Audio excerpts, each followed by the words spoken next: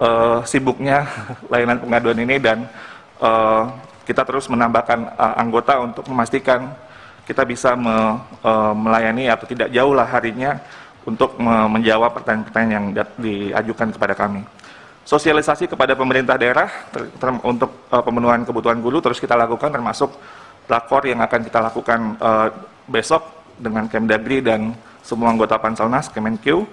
Uh, terkait kebijakan anggaran, kita terus berkoordinasi dengan KL terkait untuk memastikan pemberian gaji dan tunjangan guru P3K alokasi APBN diperhitungkan melalui DAU terkait dengan kebijakan formasi afirmasi seleksi untuk guru-guru PJOK, kesenian, bahasa daerah, dan TK, uh, eh, memberikan kesempatan yang sama afirmasi guru honorer penyandang disabilitas untuk dapat mengikuti ASN P3K, dan afirmasi nilai guru di atas uh, 30 35 tahun ke atas dan 50 tahun ke atas. Uh, mungkin itu dulu, uh, Mas Menteri, saya kembalikan ke Mas Menteri. Assalamualaikum warahmatullahi wabarakatuh. Terima kasih Mas Iwan dan uh, apresiasi saya Mas Iwan ini mengerjakan program P3K ini paralel dengan program guru penggerak, paralel dengan revitalisasi uh, PPG program kita semuanya di saat yang sama. Jadi saya ingin ucapkan apresiasi yang luar biasa untuk bisa mencapai sampai 300 ribu Mas Iwan yang menjadi P3K.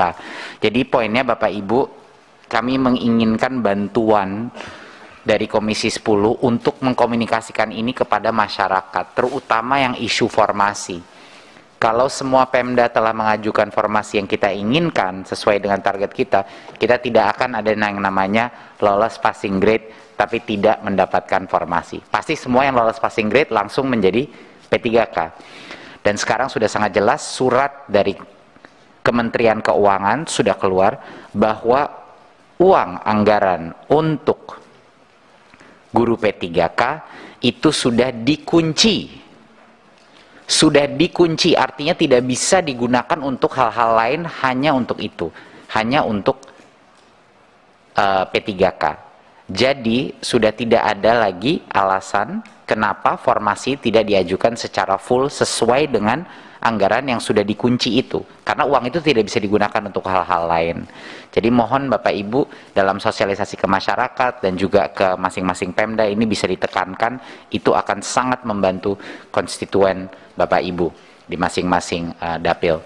Dan uh, poin saya yang terakhir adalah untuk mengulangi lagi uh, bahwa posisi kami sangat jelas di sini kami berada di sisinya guru honorer yang merasa kami juga setuju dengan mereka bahwa guru honorer di sekolah induk yang lolos passing grade harus diprioritaskan untuk mendapat posisi itu dan juga tidak harus mengambil tes lagi. Jadi itulah uh, permintaan kita terhadap perubahan yang uh, kami ajukan kepada Panselnas uh, saya harap ini bisa ada titik temunya dan bisa uh, kita memberikan keadilan bagi guru-guru yang sudah lolos passing grade dalam sekolahnya masing-masing.